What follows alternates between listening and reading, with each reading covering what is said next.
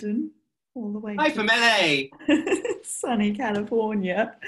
Um, thank you so much for being with us today um, for the first in the series of um, The Craft of Composition, um, which is hosted by the Ivors Academy.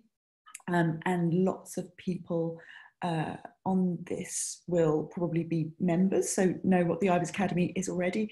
Um, but for those of you who don't, um, it's an association for music creators of all sorts, songwriters, composers, um, and probably most famously, they organise two amazing awards ceremonies every year. The Ivor Novello um, Awards, which were the nominations for this year, were just announced earlier this week, and um, the Ivors Composers Award, which are later in the year. And of course, Paul, you were a nominee previously for the Ivor Oh, God, Award. I I was checking it all out yesterday, though, and was, it made me realise like, the number of composers that I know and also don't know, and genuinely like the amount of talent out there. Because you're suddenly just seeing all that, going, "Oh my god, I love that one! Oh my god, I love that one! Oh, I know her! Oh, I know him!" It's like, yay! It's a good community. it's a really good community. So, so this is great. It's just so wonderful to have you here. Um, just one piece of uh, practical. Um, please put questions on the uh, Q and A, not the chat, and um, we'll get to those at the end. That's for But me. first of One all, bit, one bit of technical advice. Yeah. um, first of all, congratulations, Paul, on Tales from the Loop. Um, it has been one of the highlights of my lockdown viewing. Um, You've had a really, bad lockdown. not at all. It's really, it was, um, it's just a, a, I found it a very moving kind of uh, piece of art, the whole series, and um, not least because of the amazing score that you wrote together with Philip Glass. Um, and I really want us to kind of go quite deep into that because I think there's a lot to be said about the series and the process. Um, but thinking about how diverse your career has been and um, how it's uh, TV, film, video games, um, working with bands, all sorts of recording elements to it. I thought that maybe we could start by kind of going back to the beginning and and hearing Like, how. your life music suddenly coming on. Exactly.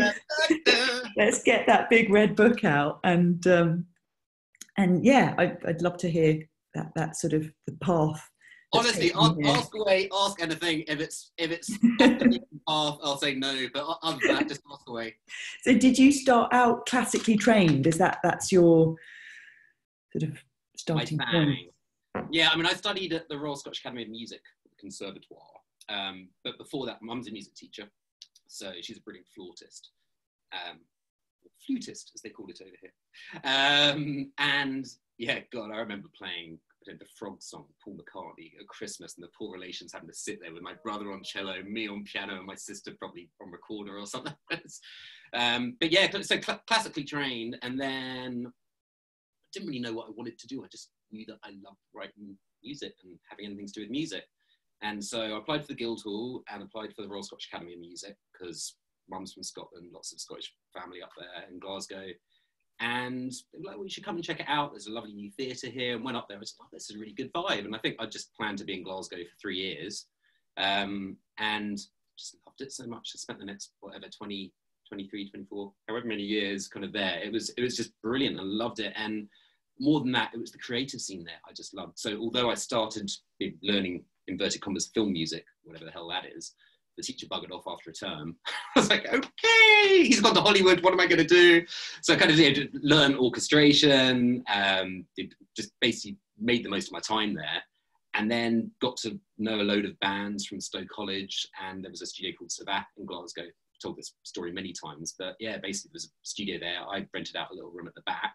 Craig Armstrong was there, I was there, and then in the main studios there were all these bands like Texas and Simple Minds and Ben Sebastian and Mogwai and Snow Patrol and all of that. And I don't know, they just saw me as the classical dude, so I just started writing strings for all of their albums, and then they just, ooh, this is quite cool. There's a there's a there's a dude that works with bands. Let's get him to do a film, you know. And then I don't know, it just kind of happened organically, I guess. which I think is the best way. And I think, in, interestingly, sort of increasingly, it's I think that the film world is also open to that, isn't it? It's like you, you know, you actually do have that very secure training in, in, in classical and or, or lack of. Yeah, but hanging around studios and going to pubs does not constitute training. but I also think that that um, directors and producers are sort of you know, a, a lot of um, the movement towards uh, people who are maybe not so traditionally um, trained as film composers, but maybe because directors were listening to those bands and loved those sounds that they, you know, they start being open to that. When I was starting out, uh, and literally one of the first short films I did was with a wonderful director called David Mackenzie, who was nominated for an Oscar two years ago, I think. But he's he's from Glasgow, and we were chatting away and was doing this, and he phoned me up late one evening and said, "Well, what are you doing?" I was like, "I'm just remixing this band with Richard from Belle and Sebastian." I was like, "Well, who's the band?" I was like, "Snow Patrol." He said, "That's my favourite band." One person in the world had heard of Snow Patrol at that time. Um, and this was really early on. Yeah, I didn't deal with them when they were they were massive, and it was just funny because if you think about it, directors in general, they it's their essence is finding new stuff, whether it's visually or audio or whatever. So they loads of them find all these new bands or these underground bands because you like finding new talent and stuff that hasn't been done before. So it makes sense.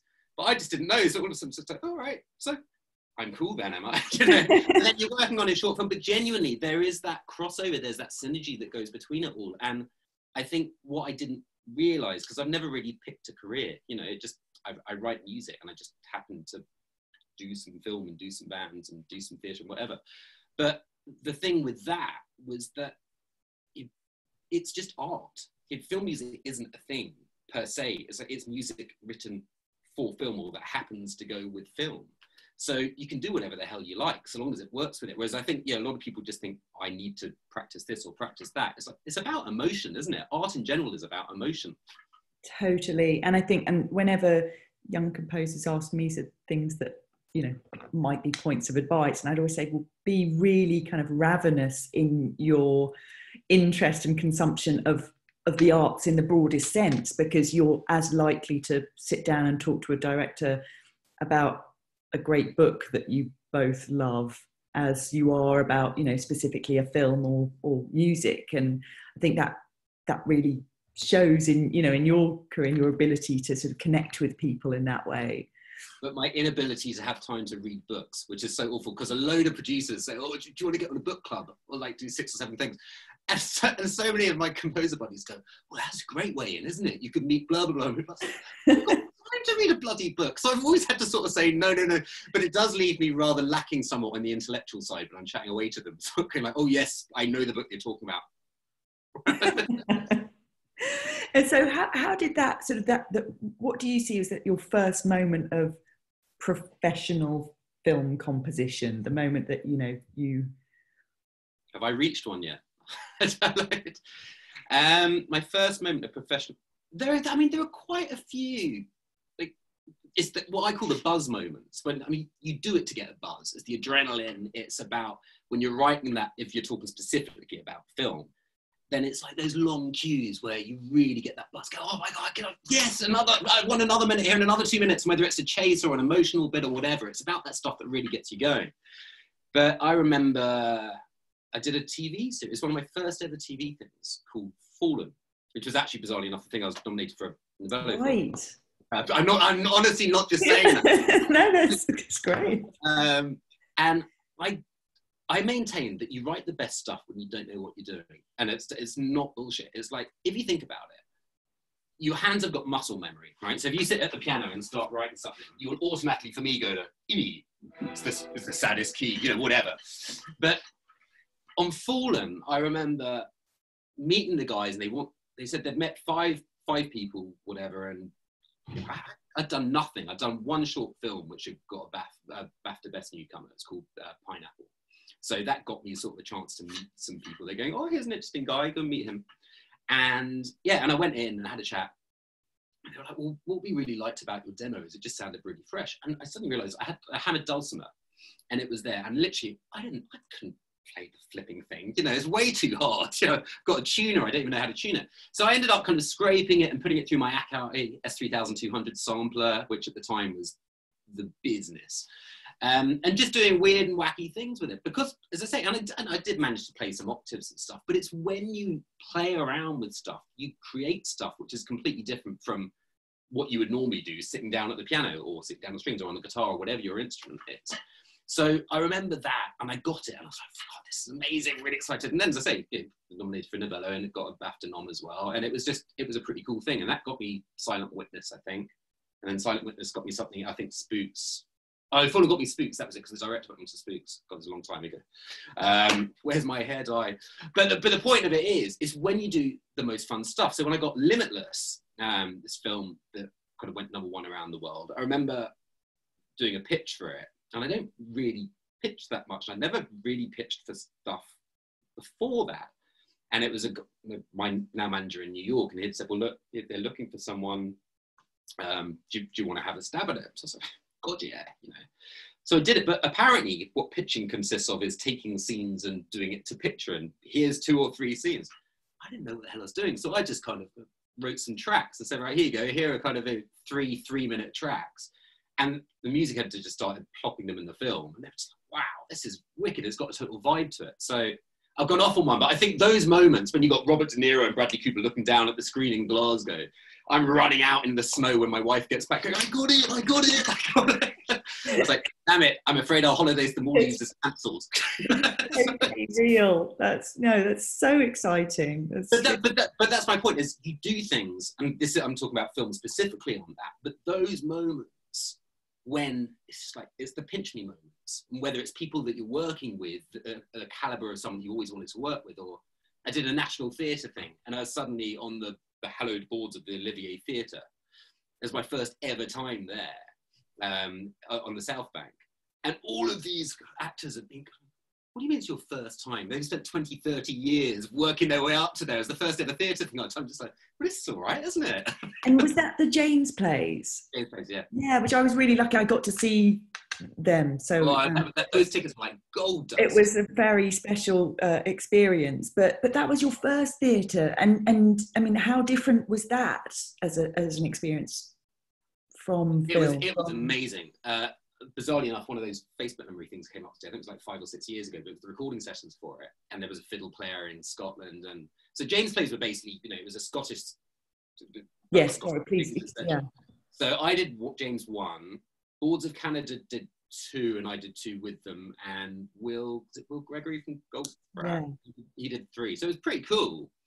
Um, they sold out the Edinburgh Festival, and then we went down, say, to um, the Olivier, and when we were down there so I'd just flown back. I've been over here doing recording sessions for Battlefield Hardlines. We had Josh Freese, Nine Inch Nails drummer. Mm. So that was cool. And it was one of those surreal moments again because I then flew straight back to, to London on the way back to Glasgow, popped off in London for a few days to go and record because I wanted to record um, the cast doing some vocal warm ups so that I could incorporate that in the soundtrack.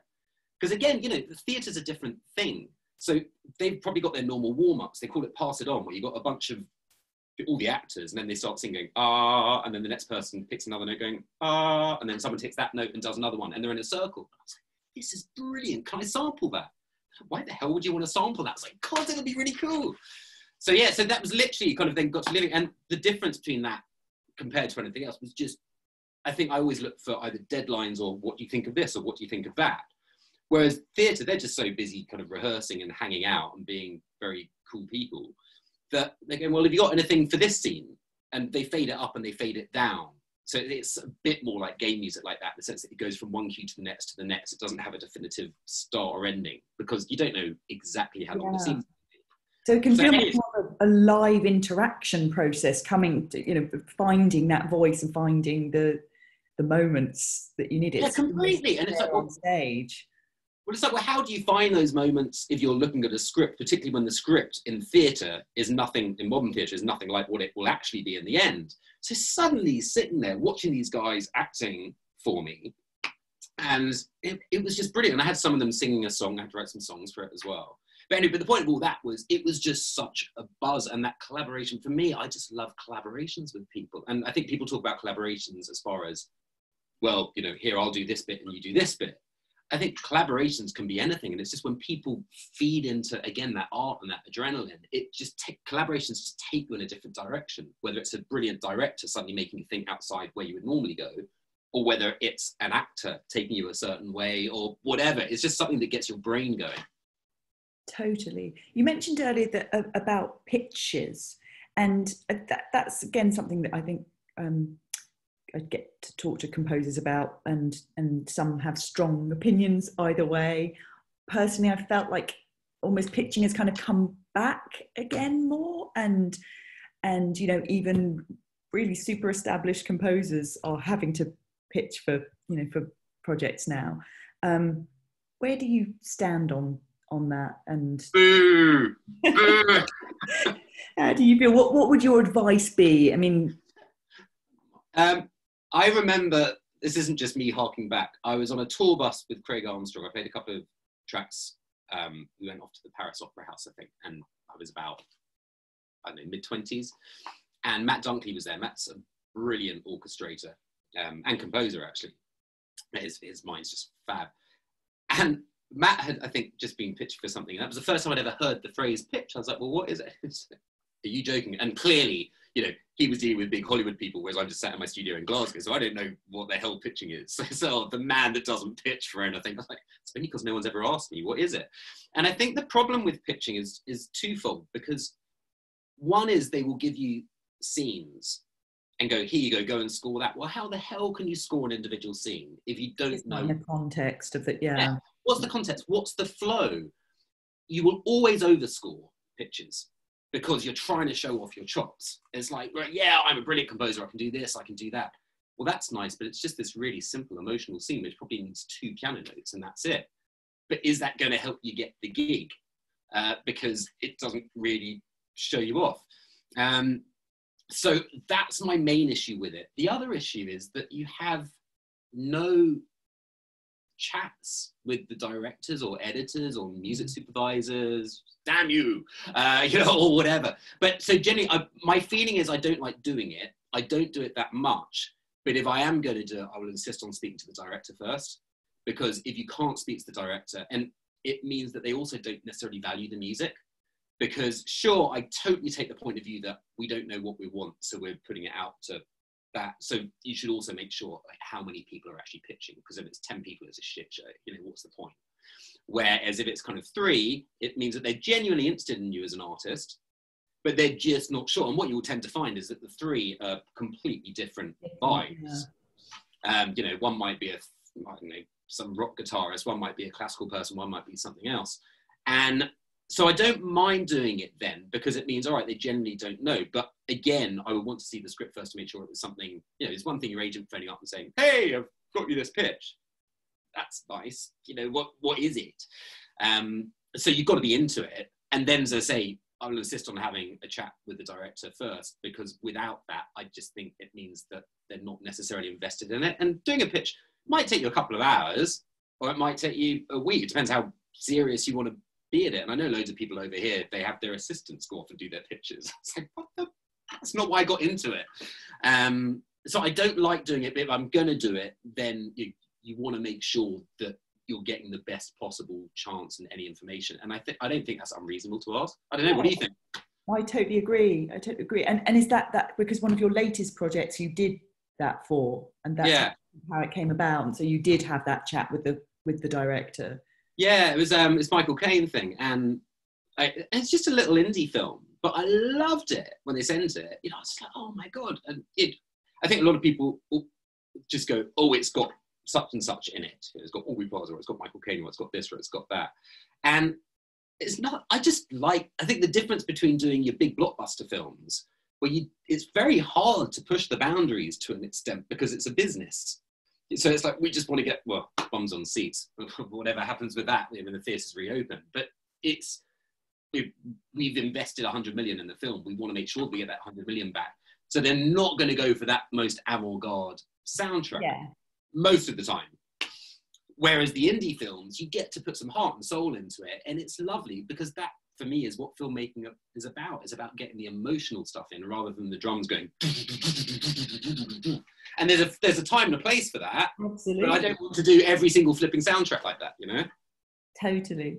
Um, again, you mentioned your uh, your agent. At what point did you get an agent, and do you think that was the right moment? Uh, was it the right moment? Yes, in both cases, actually. I got so I have an agent who covers me for the rest of the US and the rest of the world, and I have one in the UK.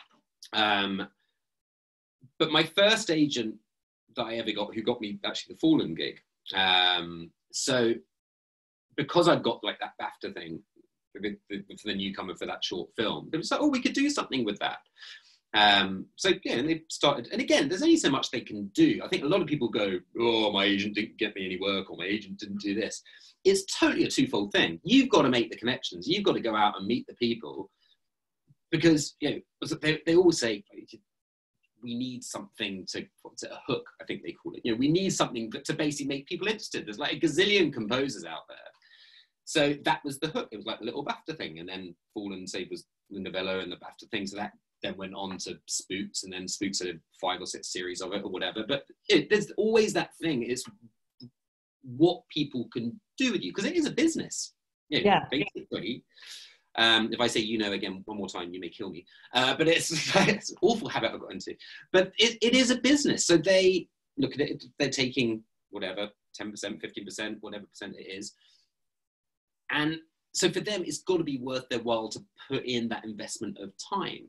So it makes sense. It's very frustrating when you're starting out. And also, what's the point of going and signing with a huge agent when you don't have a hook? Because then you're just going to be at the bottom of a roster doing nothing, giving them a percent if you happen to get a gig off your own back.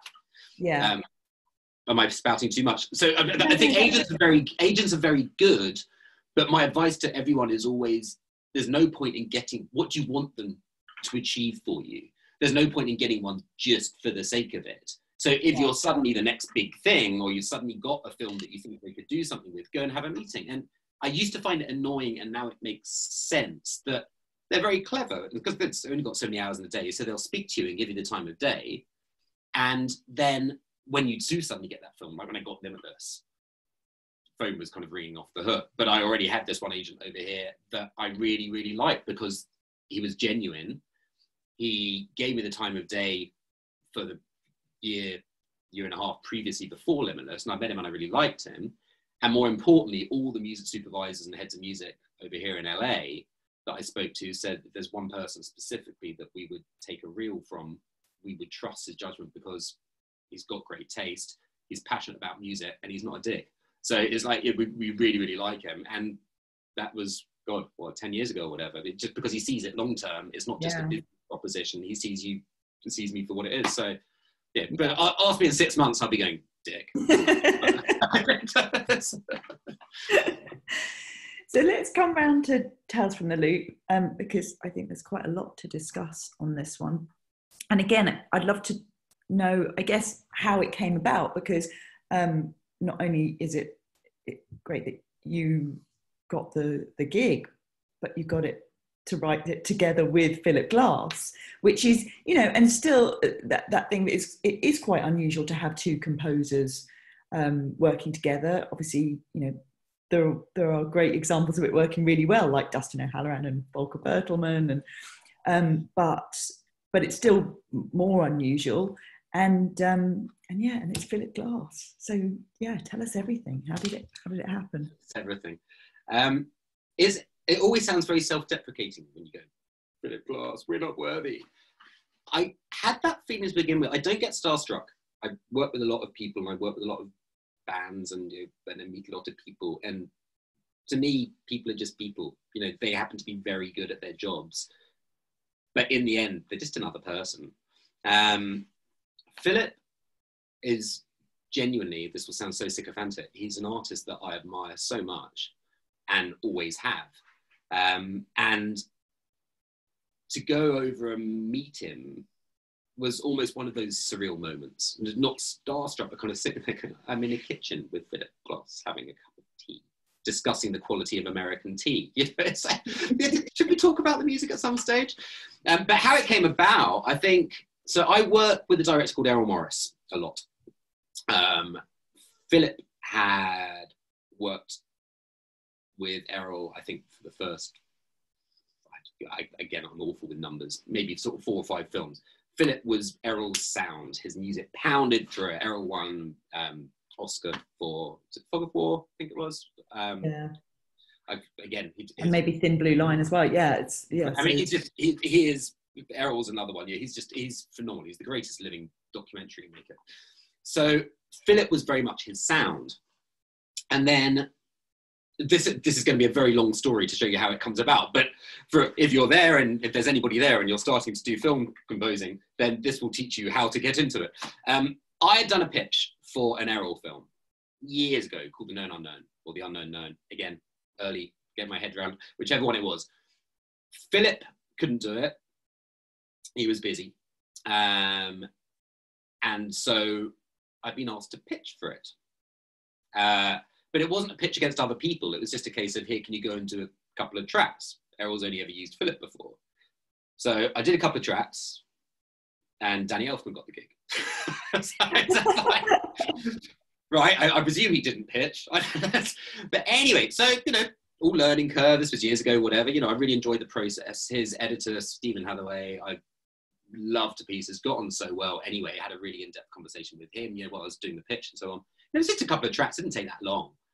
Um, and then I got a call from a guy in New York, Jim Keller, who's say now my manager, and he, it was it was his, his office and saying, "Is this track yours?" And they played it to me. I like, I really recognise it. What is and you you write so much music. I think that's mine, but you know, well, I sound like everybody else, so it must it's probably them. You know, whatever. And then I like, oh yeah, that was the track I did for Errol's pitch. And they said, right, we just had a call saying, can we license it for a film? And they thought it was Philip. I swear I didn't plagiarize him. So, so of course they can license it. They can have it. You know, it's fine. And as we was we were saying earlier on, yeah, I, there's never a right or a wrong decision you, you, make decisions with the best knowledge that you have. But yeah. for me, it was like a case of look, it was a pitch. It wasn't even properly produced up. You just take it. It's fine. It was for, it was for, I think it was for a bunch of short films that it was either the New York Times, the I think it was the Washington Post were doing on Nobel Prize winners. And so anyway, so, so they used it. Long story, long story short, they used the track, and I got on really well with Stephen. And then he got in touch about. Who was the editor? The editor. Right editors, very important people. Yeah. Um, every one of those poor people never get out of their room. it's kind of like composers, isn't it? Yeah. But yeah, he's the editor. And he said, look, Errol's doing a bunch of five short films on mascots, very bizarre films on kind of sports mascots and stuff like that. And it was, it was called The Crazy World of Sports for ESPN. It was a total blast. And again, I wrote a bit of music for it, licensed some tracks to it. But oh, it was fun. Uh, it was, I mean, anything with Errol is fun, but anything with Stephen is also fun. So it was just like, it was such a ride. So that was really cool. And then about a year later, one of his producers phoned up and said, Hey, we're doing this thing. Do you want to have a chat about it? And it was a thing called Wormwood, which was a series for Netflix. But at that time, it wasn't going to be a series, it was going to be a film. So it started chatting away about that. But then that got put on hold because they were trying to get some more funding. And he said, I'm doing this, Errol's doing this little film on um, his mate Elsa Dorfman, who's this photographer. It's called The B Side. Would you like to try working with Errol? Would I like to try working with Errol? and bizarrely enough, I'd just been finishing the National Theatre stuff, the James plays. Stephen had heard the James plays and was like, freaking love this. This is beautiful. You know, I'm going to try temping it up eh, with your music. Oh, it's just, it's gorgeous. I was like, well, thank you very much. You know, and that was just like a little string quartet kind of thing. Um, so anyway, but long boring story, but basically, so I did the B side and he said, well, how's this going to work? Errol's never really worked with another composer before. So why don't we try doing maybe like three or four tracks and just see, you know? So I had a long chat with Errol, getting to know you. Uh, and then he talks more than me, which is hard to believe. He's just funny, funny guy. So yeah, so I did, did three or four tracks and then did some more. And that film was just beautiful. A, because of the subject matter. It was one of his best friends. She, she died at the start of this year but she's a brilliant photographer. It was a really cool soundtrack. It was about where digital meets analog. As far as photography, she does like huge photos, maybe six foot high on an old Polaroid camera. Um, it's one of only like five or six in the world. So the whole soundtrack basis was I'm going to do everything in one take. Instead of doing everything on Pro Tools and beautifully done and chop it all up, I want to hear the imperfections like she would get with the Polaroid. So there was a kind of thought process behind it. And I was like, yeah, this is really cool. The quartet were going, okay, we'll do another take. No, you won't. That's it. We have Miley Cyrus as double bass player. It was just, it was a really fun thing. It had me on guitar, and I don't play guitar at all. It was awful. Uh, but again, it was, it creates a vibe.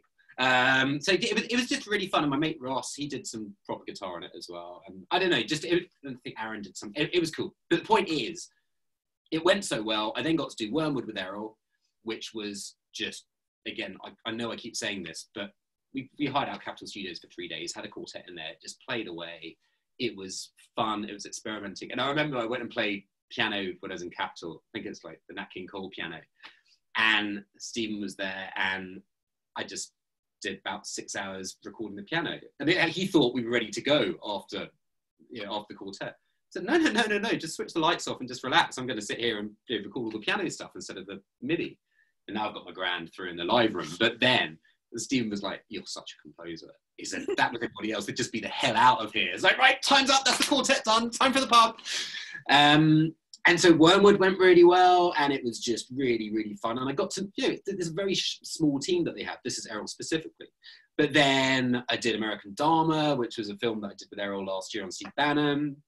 And I started a new film with Errol yesterday. So the point of all of this is it all basically stemmed from doing a pitch, I guess, but it wasn't a pitch against other people, it was against myself, and I still didn't get it. Work that one out. but and then licensing that track for basically nothing not because it was a business decision, but it's like, God's sake, right. he's an Oscar winner. You can take one of my pieces, it's fine, you know. It yeah. doesn't cost me anything. And it was just a little demo that I had going around. So, yeah. Wow. So that got. My board, he says, says Lucy. Lucy's like, oh my God. I know. I'm just like. so much. I'm trying to steer it back round to to the tales from the loop. Oh my God. I knew there was a point to this very boring story. I bored myself. No, not at all. It's really great. So, yeah, so that was the Errol relationships. So, yeah, relationships. So that was the Errol stuff, but it is connected because then you got Philip. So Philip's done all of Errol's stuff. You got uh, Mark there, Romanek, who is who did directed One Hour Photo, and more importantly, Never Let Me Go, which I adored as a film. Beautiful film, yeah. But Mark had always wanted to use Philip, never got it quite together. You know, I think a few things just didn't quite happen. And so he was like, right, I want to do this. Philip's never done a TV series before. Philip's also the busiest guy in the world. It's like four operas at a time. You know, he's he's creative, whatever he is, A384. He's just this brilliant, brilliant mind.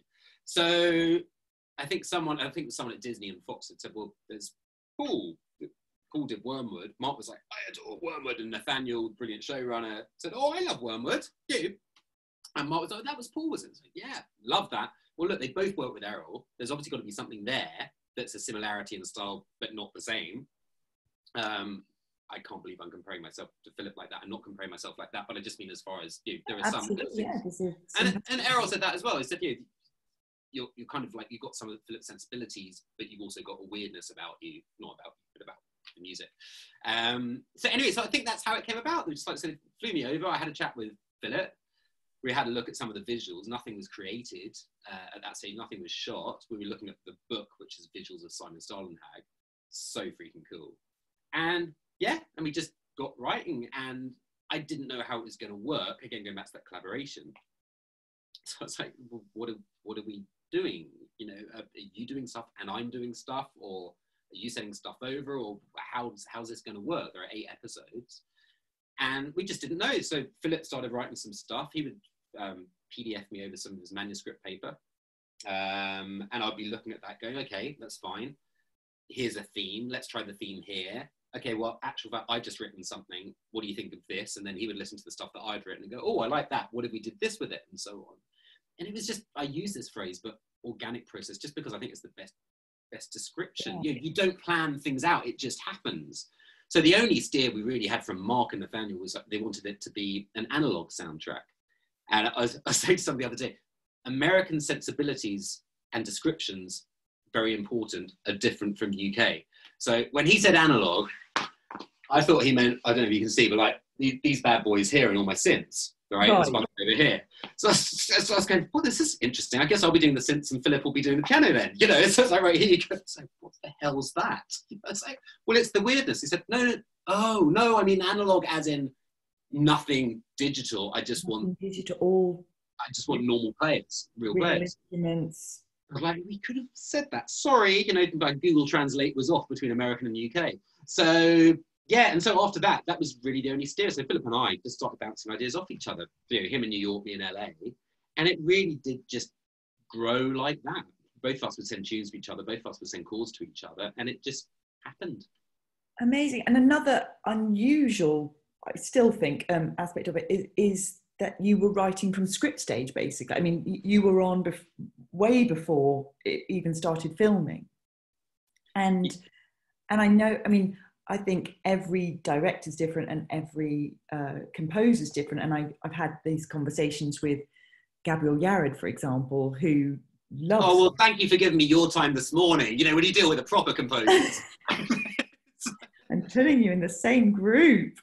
Um, and Gabriel, you know, famously, he, he loves working from script. He, he wants to write themes that are about stories and feelings. Honestly. And absolutely, all of the Anthony Minghella films, he he wrote most of it from script stage. Anthony loved that too, and a lot of those themes stayed the same right, you know, right to the end. And that you know they're in. but could he envisage it when he's reading that script? he's he says it's all for him that it's all about the kind of the emotions and the stories and that actually he's not visual at all of course there comes a point where you're going to have to you know work to certain time scale time references and, and whatever but but yeah he's he feels very much that you know he's he's writing music about these these themes so so you and, and but not everyone works that way Yeah, I'm shit at it like that. And honestly, like I read a script.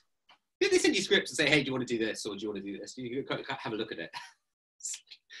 she comes in wearing a blue coat. Right, I'm shutting my eyes, going, "Okay, blue." Well, it could be light blue, dark blue. And my wife, who's a graphic designer, she, she just like, "That's not even blue, Paul. That's green." Like, oh, right, okay. You I just I can't envisage. I mean, obviously, I can read a story, right? Yes, I can envisage that but I can't see the emotional depth behind the story, really, or particularly from a script rather than a book. Um, so for me, it's much more about seeing, and it doesn't matter how rough the rough cut is, but suddenly seeing, like Mark was sending me pictures from when they're, they're in Canada shooting it, and he was sending me it as the set was being built. And here's my, this is the director, Mark, uh, and his it's amazing. And giving an example, Simon's book, uh, Tales the Loop, because half you probably haven't seen it, but it's about kind of it's sci-fi, but it's not sci-fi about weird things that happen in a town because of this thing, the, the eclipse underneath the town. And there are robots there. And so obviously coming from Dredd World, it's like, oh my God, are robots, they're gonna take over the world. Uh, so Philip and I wrote quite a dark theme. And Mark's like, I mean, this is beautiful, but why is it so scary? We're like, well, because here's the robot. I don't have the book with me. It's, I think, through in the other studio. But like, because there's a robot there. And I guess that you could make it a dark story, but it's like, yeah, but the robots just are. They're not hurting anybody. They just coexist with people. That's just weird things that happen. So if you don't understand the basics of the script or what's going on, don't be embarrassed to ask because it's bloody fundamental. You'll feel like more of a dick in a month's time when you've written a completely wrong score, as opposed to no, but genuinely, uh, like as Yeah, opposed to just absolutely. phoning up and saying, look, I know I'm thick, but I'm a bloody good composer. I don't quite get this bit. There's nothing wrong with that whatsoever. But what there is something wrong with is pretending that you know it all.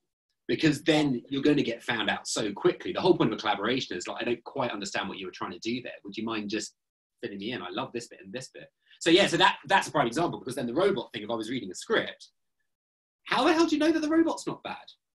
If you're looking at the book, you don't know the robot's not bad. And it's only when you speak to the director because there's so many VFX still to go on and there's so many other things to go on. It's only then by having that chat that you realize it's like, okay, so the start of any project, have a chat with the director Yeah. and just and shut the hell up, even for someone like me, and just let them speak and say, tell me about it. it seems like Mark and Nathaniel were particularly open like that, that it was a very healthy Uh, Um, yeah.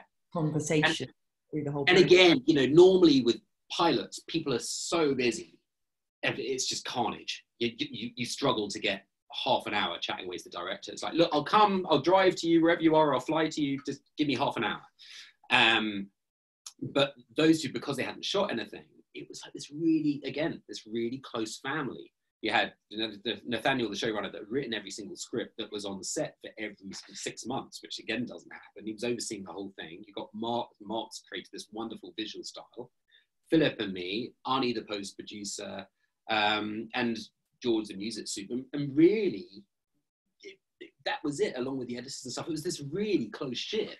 Yeah. And because of that, it makes it a lot easier to have that kind of collaboration because you're not waiting 10 days for a load of other opinions to come back. You're just, you know, it's you guys making those decisions. You mentioned George there. It's interesting because I, I, I, watched a, um, a conversation that was organised by the Guild of Music Supervisors in the US a couple of weeks ago. George is the music supervisor. yes, sorry, George Drakoulias, um, who is a, a legend in his his own name. And he makes amazing bread. Like the, the bread that he makes is unbelievable. He comes in the first half an hour of any conversations about what sandwich he's had that day. he was interesting because because he was on this conversation and and he um, it, it, and he it was it was a group of, of different music supervisors who'd all, all worked on Amazon projects of different sorts. He was obviously there for Tales from the Loop, and somebody asked, "Oh, um, you know, what was it like working with the composers?" And fun enough, he, he said, well, Paul Leonard, no, he said Paul Leonard Morgan's amazing. In fact, you should all hire him for all of your really? projects. Yeah. Right, where's my wallet? Hang on a minute. oh, that's sweet. but he was saying how he didn't really speak to, to Philip. He was really d- dealing with you, and and I wondered whether because you know from my point of view as a music supervisor, I've worked on projects where I've been really hands on with the composer, everything from helping choose the composer. Oh, you're one of those, are you? To, to, where I, to where I actually put my finger on the button. to helping with recording, all of that. To, and, and a lot of it in that sort of um, uh, translation part in the middle of, of maybe between a director and a composer, you know, helping that be a, a sort of seamless relationship. But then I've worked on other projects where I've had absolutely nothing to do with the composer, maybe because they they've already worked with the director, they've just got a direct relationship. And, um, well, so, and, so is that is that because of a specific project? Is because they've already got a relationship formed? So it's almost like well, there's nothing for me to do. To often it exactly is, and so really then I'm looking after the commercial songs and and and that's that. But but I kind of wonder from your point of view how you feel about that. Do you you know do you like a music supervisor being on board? Do you like that being part I like, do you know what? The, the, best feeling about, and I know we're talking specifically here about film music and TV music to an extent, the best feeling about doing it as a job is composing is a, quite a lonely job intentionally as much as anything else. You know, you, some people like doing it with other people. I like just shut myself away. I've got lots of daylight here, so it's all nice. Um, but you know, I like throwing myself into it. If I get a first pass or something, I just stay up for three nights on end and literally just blitz a first pass. Half it's probably shit, but I like getting into that vibe. And then afterwards, I'll then yeah, never ever play a first pass to anybody. I've got this great idea and I'm playing it really loud. It must be great. um, but so it is inherently lonely. And then when you get a musician or you go to a studio, have a big orchestra or whatever, those are the moments that make it fantastic because you're then working with other people that are bringing something to it and also because you've then got that human connection with someone and what i like about film music and tv music specifically is that sense of camaraderie and as i keep saying about um, errol's lot and i keep saying about tales from the loop when you have a small group of people that you can work with it's like a little family and it's a really weird feeling when the series is finished or the film's finished because suddenly it's I've just been speaking to you every single day, not for moral support, but because it really feels like I think Anton um, is a music supervisor, and he described it the best as he said, "Yeah, I want to feel like I've been in the trenches with you." Which by the end of it, without it, it sounds stupid, but you want to feel like you achieved something together. So, as far as music supervisors, what I love about dealing with them is you're kind of also discussing source songs. It's not like I'm suggesting to you because my you know, my musical taste is probably awful compared to yours, but it's not like I'm suggesting things. Although there's a film one at the moment where we're, we're talking about stuff, but it's more just the fact that you're all passionate about music. You're all passionate about the project that you're doing. Otherwise, you wouldn't be doing it. Or if you are, you're doing the wrong thing. But it's like so you're chatting away about it, and then I don't know, there's just this lovely camaraderie. And so the, that music supervisor for me is an integral part of it because he or she are the ones also that have normally had some role in bringing you on board. Like Limitless, first thing I ever did, um, first thing I ever did, my first big film over here, Season Kent. I don't even know Season, but she's brilliant. Great, yeah. wonderful human being. Again, you'll see me say this about people, and it's not bullshit. It's because a lot of people that are in this industry because it's music. You know, it's it's your passion. It's got to be your passion. Otherwise, you're not going to do it. So the season, she got me and she, she, phoned up and going going back to ten hours ago, whenever it was that I said, you know, it's like oh, I rushed out. And I was like, yeah, I got the gig. I remember her phoning up. I was like, oh, hey, season. And obviously, she was phoning from LA, LA and I was in Glasgow. I'm just like, hey. So, so I'm phoning about Limitless. I was like, yeah. And I, I think I did my terribly British deprecating thing. Oh, yeah, don't worry. You don't have to phone me up to tell me that you haven't got it. So, oh, well, actually, no, you have got, but but almost it's like from that moment. And I, again, I've told this story before, but the way that I actually got Limitless, or got Limitless, yes, it was the pitch, and they all loved it, but I wasn't going to get it because they didn't know who the hell I was. They were like, well, you might have BAFTAs and you might have that, but no one in America really knows who the heck he is. And I watched a, soccer game, I watched a football game this season. Um, my friend music supervisor Natalie Bartz over here, who now works at BMI. This is all my long. This is again. I guess this is a, how do you get into it. Bartsy had phoned me up before I came over here, um, and said, "Oh, just phone and say hi. I've heard your album, Film Tales. Love it. Would you mind if I license some stuff for a trailer or something?" And Natalie's one of the most knowledgeable people about just film score in general. Again, she just loves doing it. So I kind of met her for a coffee when I was over here, and she she's, "Oh, you should come and meet some people." And I think I was doing spooks and I was producing this band over here, which is why I was over here. Um, so yeah, and so anyway, long boring story, but basically that's what happens when you get me at this time of morning. It's like, oh my god, he's had a coffee. Um, so Natalie phoned up, and it was about six o'clock on a Saturday morning. She's the only person I know that would phone you up at that time. And I was here by myself. My wife's back in the UK, and she says, "Oh, you, yeah, come and watch, come and watch Chelsea play." I was like, "Really?" And she's she's kind of really. It's six o'clock in the morning. In actual fact, I am up because I've just been finishing off an episode of Spooks, but I'm now going to bed. She said, Oh, come on, come on. I was like, Okay. She said, You can sleep later. And it was at Season's house. But uh, see, it was Season's a West Ham supporter. Don't ask me why. You know, uh, not just because it's West Ham, but because she's you know, from over here. Yeah. And I remember virtually nothing of that morning because I was so flipping tired. Apparently, Chelsea won because I asked her later.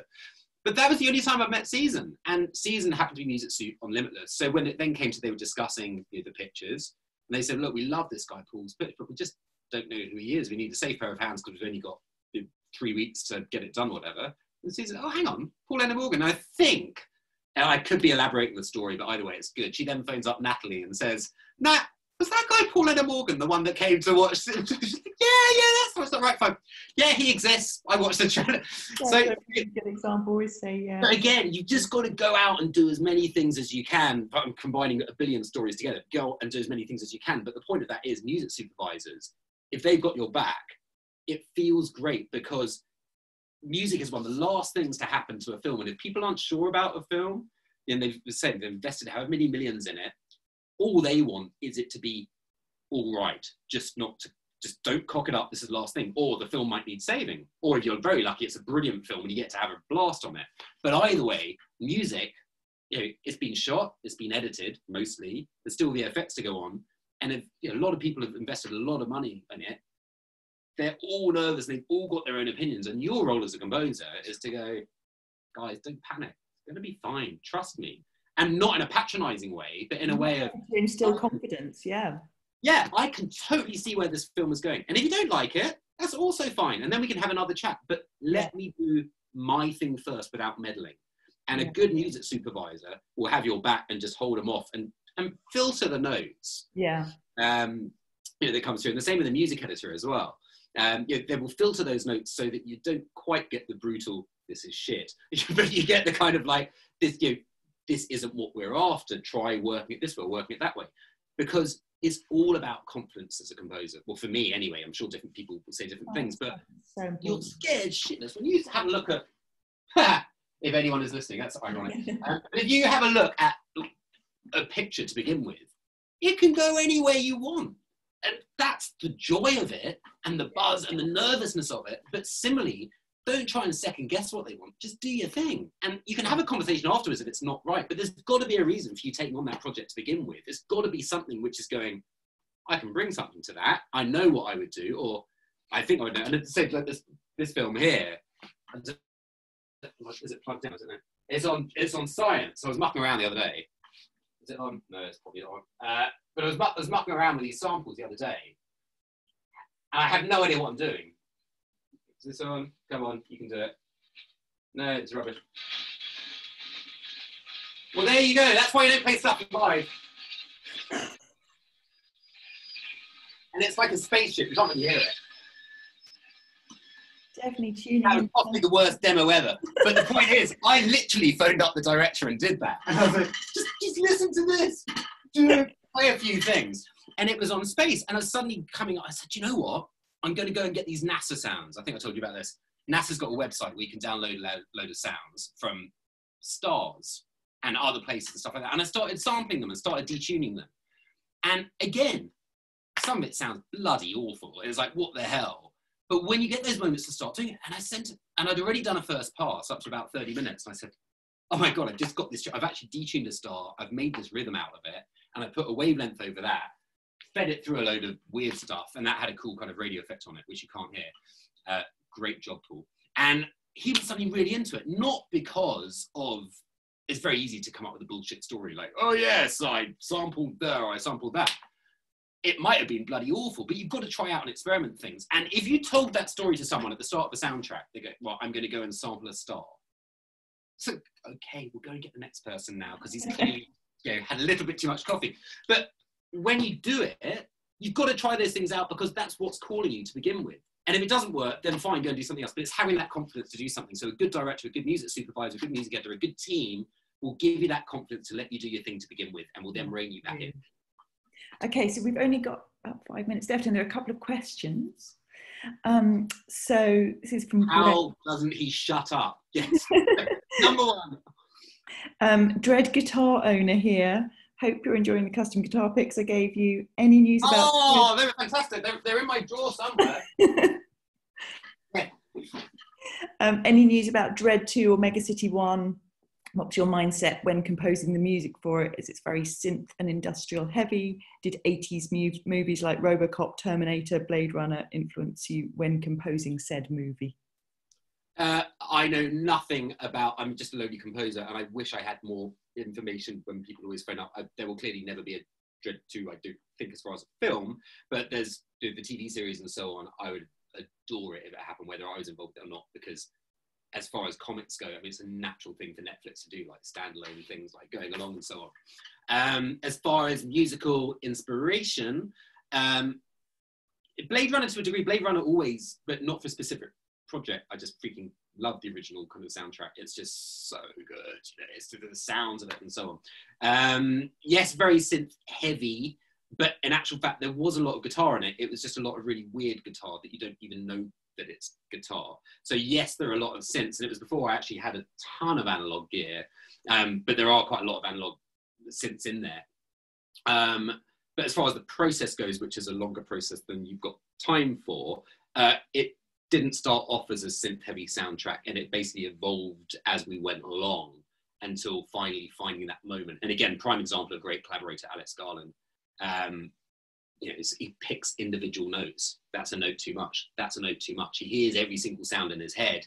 So that by the time you're finished, he's like, well, the hi hat in bar 17, we don't need that because it's interfering with Anderson's speech or whatever. All those things, it's his head sort of imagining where it goes. But as far as the sound for it, by the time you finish with Paulstretch, by the time you finished with your analog synths and so on, done, I think I was on the end of pass two when I suddenly found that sound. I was like, just let me do my thing. It was a prime example. It was a bit rockier than the sound we've actually got. It was a Ma-Ma track, which I think I shoved on the album, which wasn't used in the film. That is a guitar-based version, which I did to begin with, and it had some real balls. And then I took the drums for that, stripped everything else out, and put on a load of analog synths, and that became the Rise of Ma-Ma, and that was basically the evolution of them. I went back and did another pass. I said, look, just give me a couple of days. I know where I am with the sound now. Went off and did the thing, and that's how it happened. Thank you so much for the pics. I love them. Um, and this is from an anonymous attendee. one of the things I struggle with as a solo creative is structure and being organized, and it's affected my mental health. Are there any tips that you can share about organizing composition workflow or even organizing your day stroke week, e.g., setting aside a day for business development, making sure um, uh, making sure you regularly label and save musical ideas. Um, also, following your comment, would love to know if you've got any lessons on guitar in your if you've got, had any lessons on guitar in your career as i'm feeling guilty about trying to compose above my grade on things? No no no no no no no. I, but i'm going to take that in reverse. Okay. Because that is fundamentally i thought was, he she was being sarcastic saying have you had any lessons on guitar like shut up um, i used to have exactly that right which is that i'm a really good pianist but i get by but, so piano, piano I'm fine with. Strings, I used to play them all, so that was how I know how strings work. So it's not, can I just repeat to everybody, ever, never, never just go like that on your samples. I detest ostinatos. It's like, that is not how you play a violin or a cello. Um, damn you, sample libraries. But anyway, so I used to have exactly that. I was very nervous. I was very, God, you know, I'm not a proper, it's not just imposter syndrome, but it's like, I should leave that to professionals because that was kind of how I developed. We would have professional musicians come up into the studio and play a violin or a drum or whatever. And then it was Errol's B side to say was the first thing I'd ever just done. I was like, look, for God's sake. And normally I would just give it to, say, Ross or Aaron, to my guitarist to go and play on. And that, because it was so organic, this whole thing, how I said it was all just one take, I mean, there's a lot of fifths on it. Gotta be honest, it's like ding, ding, ding, ding, ding. But I was putting it through effects and so on. And by the end of it, it was beautiful, not in a guitar way, but in an effect way. So what I said earlier on about my Hammered Dulcimer, take any instrument, muck around with it. Never, ever, ever feel that you shouldn't touch it until. I wish I could. Okay, I'm gonna do this. So this is my this is my wall of tricks. All right. So you got various things which I can't play for the love of it. But the whole point is, and this is just like my writing room, but the whole point is that you should be mucking around with anything you can to try it, because otherwise, you, know, you could say this happy drum that's here. I still love this. I, I don't know what the hell I'm doing. You know, stick it there.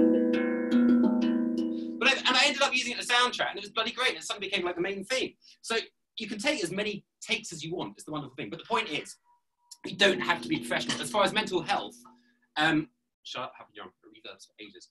As far as mental health, I totally get that. Uh, as far as structure goes, you know, it's it's weird, and particularly during lockdown, man. It's yeah, I've, I've got two great kids and a great wife, and I'm bloody fortunate like that. And it's still I'm here in my studio, and it's very easy to let it all get on top of you uh, without getting into politics and whatever else. It just makes you feel, oh my god, I've got no one to talk to, and even if you do talk to someone over the phone, you're still by yourself. Then you've got to try and concentrate on composing, which you've got, you know, composing on this thing, you've got to be in the mood for it and you've got to get in the mood. And for me, my way of composing is I just come in every single day and you just get on with it. It's really busy at the moment. So you just need to get on with it. But if you're doing business development, I don't know if that, that person's just starting out or whatever. So if you're trying to sort of meet people or get in touch with people, for me, I can't do both. Uh, I'm all for the business side anyway. But I can't be thinking, right, I'm going to compose between nine and 12. Then I'll go and do an hour's worth of emails to someone. Then I'll go and have some lunch. Then I'll come back and do that. I need to throw myself into my composing. So if it was me, and everyone's got to find their own way anyway, but I would do, do your composing on the Monday or the Monday and Tuesday if you're on a project or whatever, or if you're, you're coming up with sounds or whatever it is that you're doing. Do that the Monday and Tuesday. And Wednesday, don't punish yourself. Just go, right, sod it. You know, Wednesday, I'm going to do my business side. I'm going to email people, or I'm going to call them, or I'm going to focus on that side of it. But for me, I don't have the brain space to do both. You know, I'm working on sort of like four or five soundtracks at the moment, and my head is exploding. And so you've got to kind of compartmentalize. For me, it used to be the kind of right, okay, well, so I'm, I'm finishing a couple up, but it used to be a case of right, Monday I'll work on that one, Tuesday I'll work on Limitless, the TV series, Wednesday I'll work on Dawn of War, the game, Thursday I'll do that because I can't flip between the morning and the afternoon and the evening. My brain just can't do it, and it's it. I don't know. It's not very conducive to the creative process. So I think my limited advice, and don't quote me on it, but I would definitely put aside your days rather than your hours. I think it's better for the brain if you go right. Monday I'll compose and go off for a walk. You know, it's good just to go off for even if it's a 15 minute walk, just clear your head a bit. The difference it makes. I got into running when I came over here, and I was just going out for runs at half past five in the morning because instead of being on a plane the entire time, I had a bit of time. And that half hour in the morning for me was just brilliant because it would clear my head. I would listen to podcasts, I would do whatever. And suddenly the world wasn't a shit place. Yeah, it was like, it was a good place. It was a good way to start the day because you're collecting your thoughts and just don't watch too much news because it's a 24 hour cycle. A great note to end on. The world according to Paul. Thank you so much for, especially in your super busy moment of juggling all those projects. Thank you so much for taking the time. You are more than welcome, but honestly, like it, it's the best job. Like, it really is. Like, it, so many people always kind of think like, "Oh, well, how do I get into it? Or how do I do this? Or how do I do that?" It's like, however you get into it, whether it's through luck, through fooling people, however you do it, just enjoy it. And the, the thing that I always say to everybody is, don't try it and sound like other people. Don't try and imitate people. You've got to have the chops, and you've got to be able to do good drum programming, do all your big drums, and do your string off but don't make that you because why would people come to you I as opposed to 10,000 other people? And it's very easy to sit here and say that. I get it if you're just starting out, it's like, oh, what do I do? You know, but you've got to create your own style and you need to have the ability to adapt so that it might be more in the style of blah for a film or more in the style of blah but you've got to bring yourself into that project because yeah, that's the thing that they're going to react to Absolutely. Oh, thank you so much. And miss you. Thank you to all the people out there who we can't see um, for spending the afternoon with us. Morning. That's slightly stalkerish. Thank you. I can't. I will see you when this is all over and I'm back in London. Brilliant. I look forward to it. Right, See you, Lucy.